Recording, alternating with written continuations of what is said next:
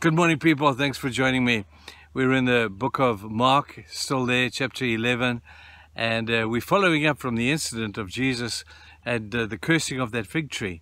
Disciples were amazed that this curse had come about, and Jesus says to them, Don't be shocked. Don't be shocked at all, because if you have faith, you can move mountains. But then at the end of that verse, he comes with some very sobering thoughts. He says, Wonderful, hey, I could go and kick mountains into the sea and Jesus said, Yeah, that might be cool, but here's the big deal. And he puts this at the end of that particular little passage. And he says this And when you stand praying, if you hold anything against anyone, forgive him, so that your Father in heaven may forgive you your sins. Forgiveness. Forgive those who have wronged you and ask forgiveness of those that you have wronged. You know, I just think as, as I get older and I think of the number of deathbed times that I've managed to be privileged to be sitting at the deathbed of people going from this life to the next. And there's one thing that people who know they're going to die soon all have in common is the need to be forgiven and the need to forgive. I've seen this acted out so radically in my own eyes with people who have been called to the deathbed and, and they're saying, Trevor, please, before I die, will you ask my son to forgive me? And uh, it's just tragic that we have to wait to the end of our days in order to see the need for that. I want to give you just a, a little hint, maybe, maybe a little word of advice about forgiveness. As huge as a subject it is, and I don't want to make it any smaller and make light of it tonight. But for you to be able to learn how to forgive, we need to do as Jesus did and walk in an attitude of forgiveness. Walk having already decided that no matter what happens, you choose to forgive. So when something does happen to you and suddenly you're required to forgive, you're not going to go back and say, hey, I'm going to think about this thing.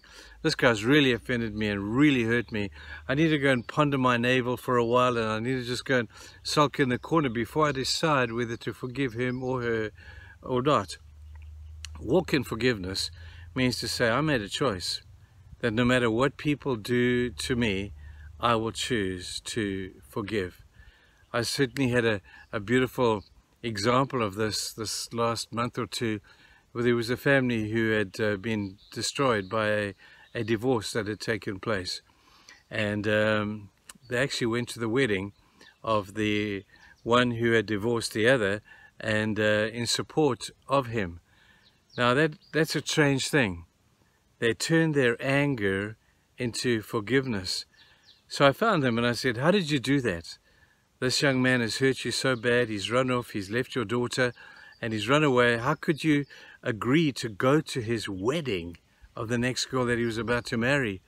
And they just smiled and said, because we made a choice. You see, we either have to forgive him now or we have to forgive him then. And we've chosen to forgive him now. And I thought, isn't that a beautiful picture of what it means to walk in forgiveness? Don't wait for it to happen and think, what am I going to do now? Forgive before the event even takes place.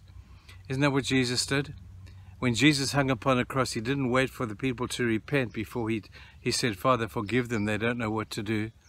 When Jesus hung upon the cross and said, Father, forgive them, he, nobody had repented yet. Nobody had come and said they were sorry. Nobody had come to acknowledge their own sinfulness. But Jesus' forgiveness was not based upon an apology. It was simply he walked in forgiveness. He took forgiveness and he gave forgiveness to those who needed it. Now, people, listen carefully. We're coming up to the forgiveness weekend, coming up to Easter soon. And you need to make a list of the people who you know that you have hurt. This is a tough thing to do. Or even might have hurt, or have heard that you might have hurt them. And people that have hurt you, that need your forgiveness as much as you need to give them forgiveness. And I would suggest that maybe you make a list and say, well, let me let me take my courage pills and let me get out there and go and meet these people. I had to do one recently uh, somebody who I'd just spoken impatiently to, and and he was shocked that I would speak that way. And for years I sat on this thing knowing what I had to do. And then one day I thought to myself, I'll phone him. So I phoned him out of my conscience and I was so surprised at his response. He just cried on the phone. He said, Trevor, you have no idea how long it has been since I've been waiting for this call. Thank you, thank you so much.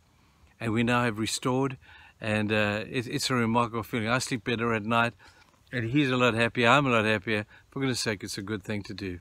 The best thing you can do for your mental health is actually to forgive. The best thing you can do for your physical health may also be that you need to forgive. So make a commitment really soon. Put a date to it if you have to, to say, these are the people I'm going to address. I will ask their forgiveness or I will be forgiving them for that which they have done to me.